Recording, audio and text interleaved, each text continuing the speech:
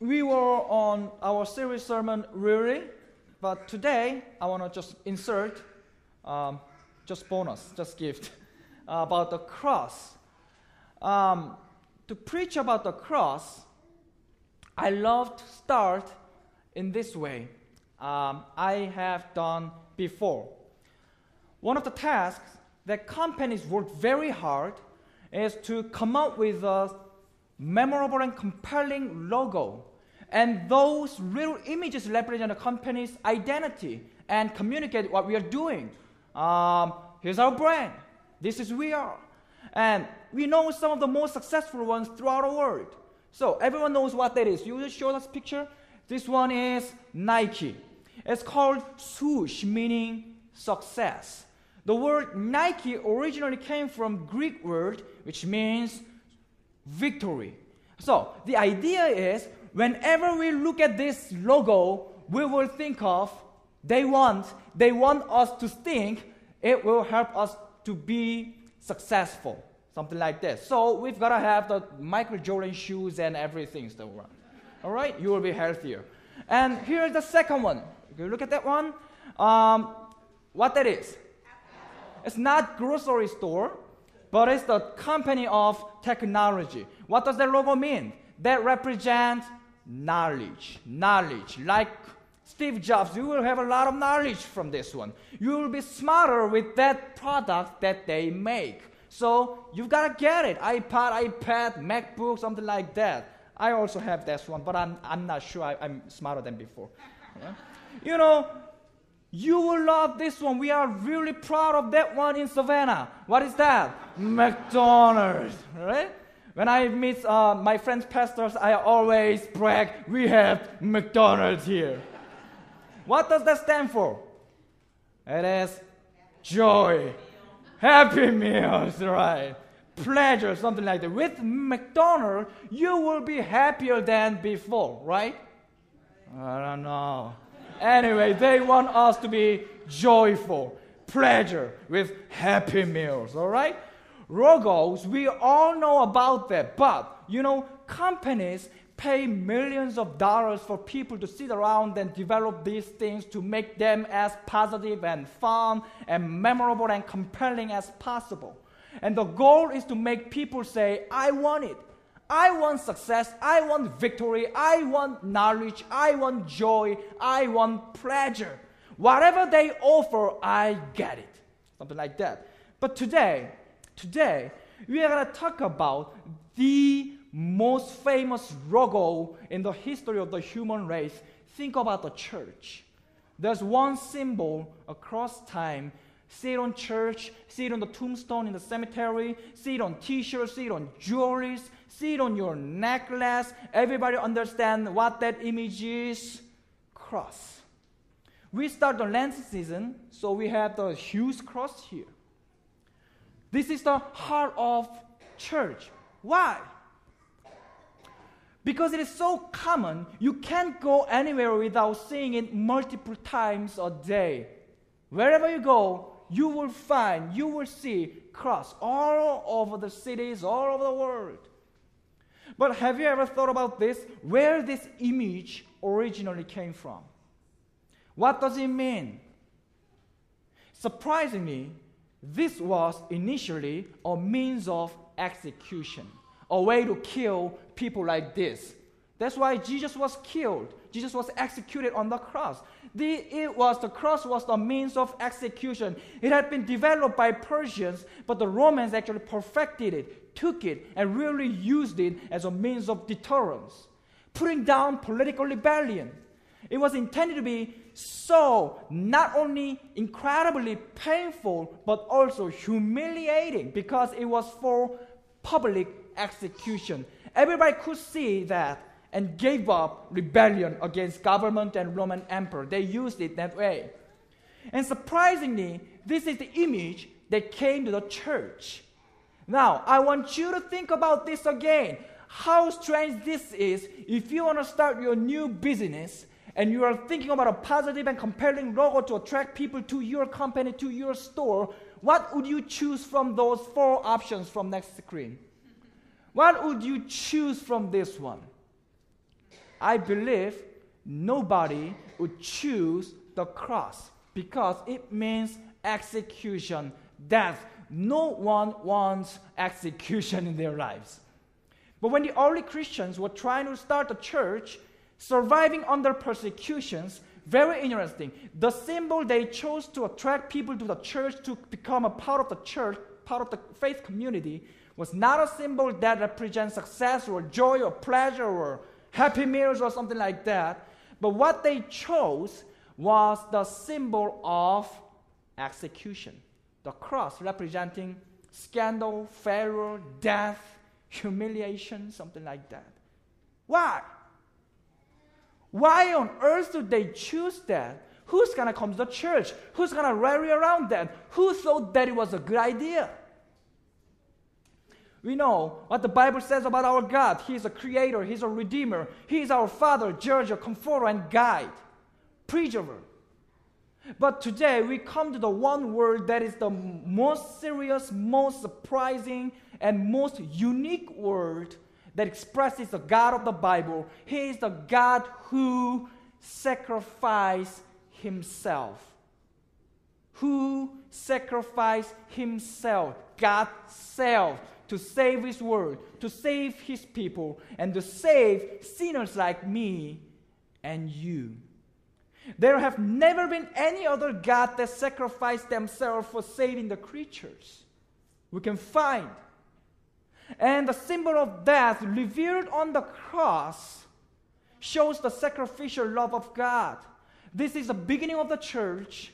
That's why we have the cross on there on the top of the roof, and you have in your neck, and you have a lot of items of wooden cross at your home.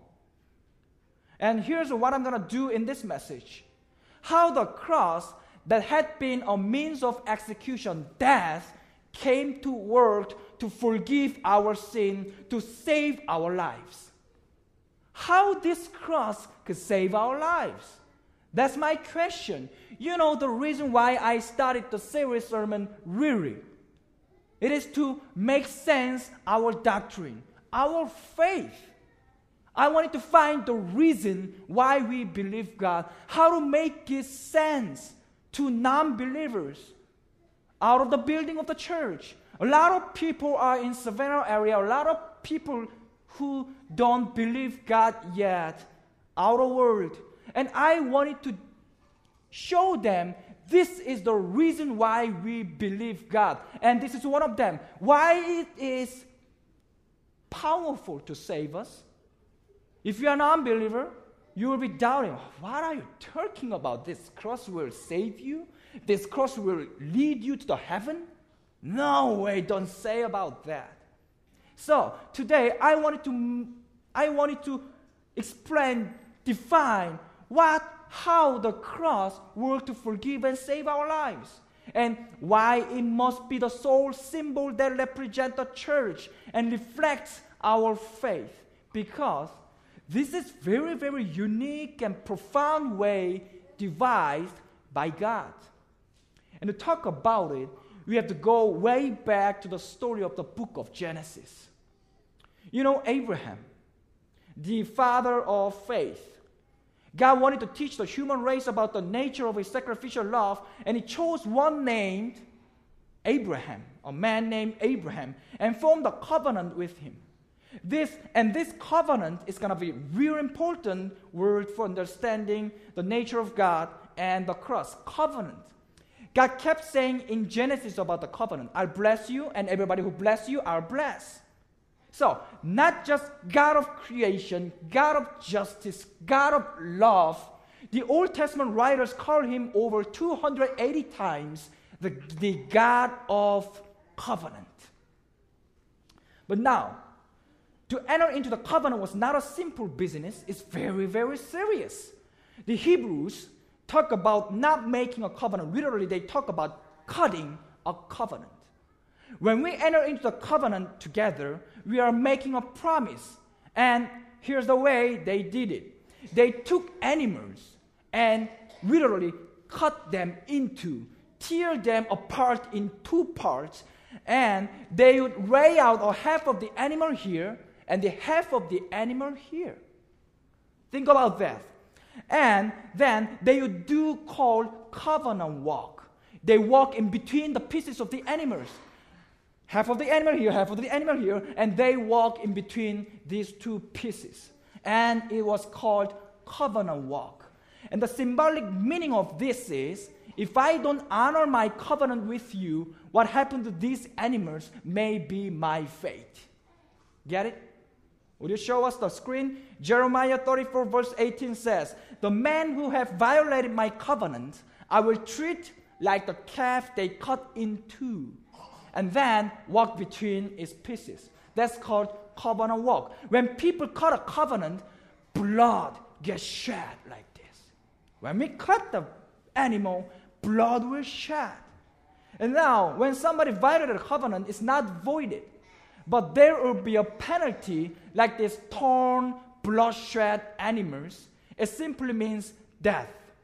If you violate your covenant, our covenant, and you walk in between the animals, you violate it, and it simply means death, tragic death. This is the covenant God had made with the human race, human race. And this is amazing. In Genesis 15, God has Abraham bring some animals to him a ram, a goat, a heifer, cuts them into, sets the halves apart. And then what's really amazing in this, is, in this story is who it is that does the covenant walk. Who it is that took the covenant walk. Genesis 15, 17. You will find this one. A smoking fire pot with a blazing torch appeared and passed between the pieces. On that day, the Lord cut a covenant with Abraham. Now, in that day, the Old Testament, smoke and fire pot, smoke and fire symbolize the presence of God, which means God, not Abraham, God is taking the covenant walk. God humbles himself to take an oath. Abraham, I want so much for you to trust me I will take the covenant walk if I don't keep my promise with you. If I don't keep my promise with you, it will be my fate. I will be torn like these animals, and my blood will shed. It's amazing. There's no other God like this. Sacrifice himself. If the covenant between God and the human grace gets broken, if it's not honored, there's a promise price that will be that will have to be paid like a torn animal. Who will pay it? There's a blood that will have to be shed. Who will shed? Somebody's gonna be broken. Whose body will be broken? And God's forgiveness and salvation work for people and the world started in this way from His sacrifice. We, did, we didn't do anything for our salvation, but God first cut the covenant and proclaimed that if our covenant is broken by either you or me, it doesn't matter. I'll tear my body apart and shed my blood. It's pretty serious and pretty amazing. And the human being really broke the covenant. You and I broke the covenant. We all are sinners in our deep hearts, there are sins that are incompatible with most holy, perfect, just, pure, righteous God.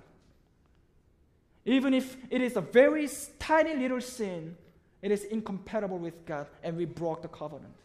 Hatred, anger, violence, abuse, gossip, pride, lust, arrogance, stubbornness, hypocrisy, deceit, cheating, ignorance, something like that. I found a lot of times in my heart something like this. The Bible says, take a look at the screen. Everyone who sins breaks the law. In fact, sin is lawlessness. Next one. For all have sinned and fall short of the glory of God. And what is the result of sin? See, Romans 3.23, for, for the wages of sin is definitely death. We are all sinners who condemned to death. Every time we sin, Every time we violate the covenant and the relationship, relationship with God, the wage of sin is nothing but death. We are supposed to die. That's what the Bible says to us. We're trapped in death, and there's no way for us to get out of it. That's the human condition, the Bible says. So, the Jewish people have taken two goats actually on the day of atonement.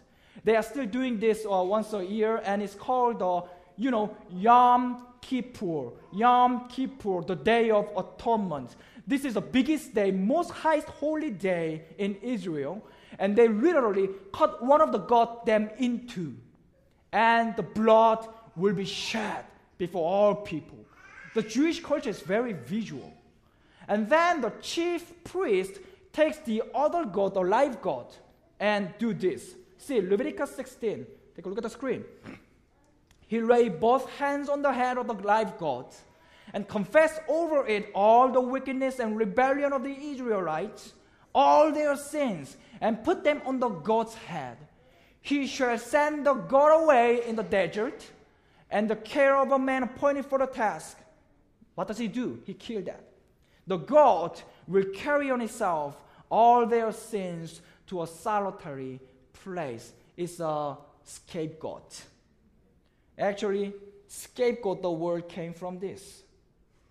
All their sins, all their guilt, all their shame, big sins and tiny little hidden sins, all the sins of the old people loaded onto one God, scapegoat, and the unclean gods, taking all the sins of the world where they go. They are taken into, taken out into the deep desert where they would be killed, where they would be die. And on the day of atonement, everybody in Israel could say, I'm forgiven. I put my own sins on the God, and He was sacrificed instead of me, and I'm forgiven, I'm clean, I'm saved. Now I am a righteous man. Who broke the covenant? It's people. And who takes penalty? Goat and lamb. But of course, all these sins don't disappear. The goat is just a picture. A goat is just a reminder that we still need somebody who will pay the covenant walk. Then when your sins happens, who's going to pay for it? This is pers- personal question. Who is your who is your real scapegoat? When you confess your sins, when your souls are broken by your guilt, who's going to take your sins Who's going to pay the price that has to be paid for your forgiveness? Who loves you most? Who can do that? The Bible says there was one man who has been torn and thrown out into desert like a goat for you and for me. And see, here is the most wonderful, profound, deepest word in the Bible. It was told by John the Baptist when Jesus was coming to him for the first time, when he was coming to Jordan River to be baptized. You will see this one. Next one, please. Behold, the Lamb of God who takes away the sins of the world. And after three years of his ministry, when it was time for Jesus to die, he went to Jerusalem to have a Last Supper, where he celebrated Passover with his friends. In a dinner, they remembered the blood of the lamb should be shed to be sign of their deliverance.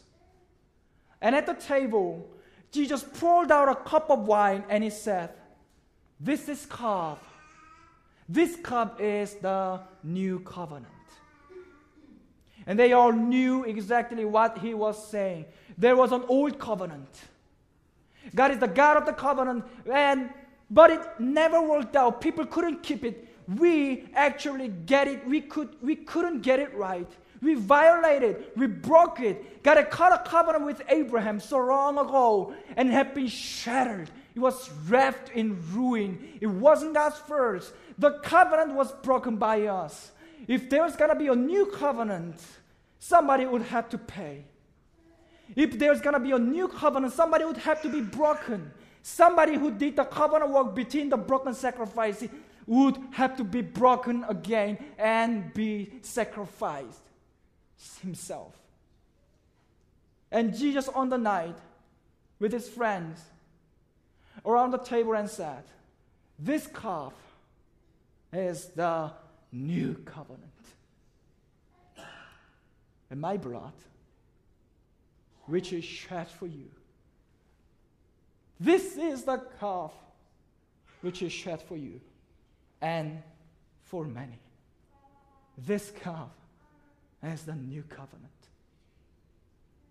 And the very next day, this man Jesus did the covenant work of sacrifice to a place called Calvary.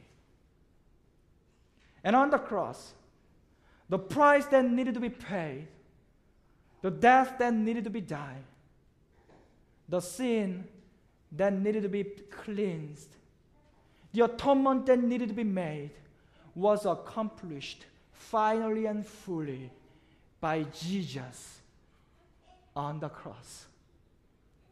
Behold the Lamb of God who takes away the sins of the world. I believe everyone is sinners, and the result of sins is nothing but death. Before the most holy, perfect God, everyone, everyone. However, God's grace and forgiveness was given to all of us through His sacrificial death on the cross because He paid it. He sacrificed instead of us. And the question for every human being, the question for you and me is this now, who will atone your sin and my sin? Who will pay for it? Who will die for you? There are two choices. We can say, I will. This is my life. I could cover my sins. I will pay my debt. That's one choice. But I want to ask you how many good words are enough to save you? I want to ask you one again. How much money is enough to cleanse your sins? How much good works are enough to satisfy God? Are enough to override death of Jesus on the cross? And the other choice you can say is this Jesus, I want to receive your cross to cleanse my sin. I'd like to receive your forgiveness through your sacrificial death on the cross. I choose you. I surrender myself to you, O oh God. Receive me. You are the Lord of my life. You are the master of everything, even my burdens and sins. You all took my things on the cross. Thank you, God. I admire you. I honor you. No, I believe you. I trust you. You are. You are. I want to end with a story. A man named Max Dupree was a paramedic in World War II. And he served in Europe. And I've never forget this story about how they served, how they saved soldiers. They go into the field after battle as much as they could to try to save the soldiers there. Sometimes they would be wounded Allied soldiers, and sometimes they would be wounded German soldiers. Max said they always carried with them units of blood for transfusion, and that blood would save their lives. And the bags of blood carried the names of the donors on the bags. So whoever got the blood could see the name and know whose blood would come into their bodies and save their lives. Max said they started doing interesting thing. It was military policy. Just some of them started doing that. They would save some bags that had Jewish names on them for the German Nazi soldiers. Max said, they would tell them, I'm to help you. You know you're to die. Without this blood, you're to die. But you can be saved. You could be saved. You don't have to die. But you will have to receive blood from a Jewish donor if you want to stay alive. And Max said some of them would say, Yes, please, yes. I want to live. I want to go back home. I want to see my family. My, I, I want to see my children, my wife. They need me. I want to live. Give me, give me. And Max said it was the most amazing thing. Sometimes they would say no. They would say, I'd rather die. I'd rather die than humble myself to receive life from Jewish donor. Here's the message of the cross. We shared last week and last last week about heaven and hell, and we confirm, we affirm that cross is the only way and only truth and only life, even though, even if we respect other religions, other faiths, we fully honor the religions and we are still running from the other faiths, other religions. But we said, we share about that. The only way God offered to us is the cross. God is not willing that anyone should perish, but He gives to everyone a choice. God is giving you a choice the most important one you can ever make. Who are you trusting you to atone your sin? Who are you trusting set things right between you and God? Who are you trusting to make a new covenant in your life? Who are you trusting to save you? You or Jesus? Now, as we enter into 2013 Lenten season, why don't we reaffirm our faith on the cross? This is the heart of the faith. This is the heart of the Christianity. And this is the heart of the church. God gave you the offer, God gave you a choice. You can decide right now. Let's pray.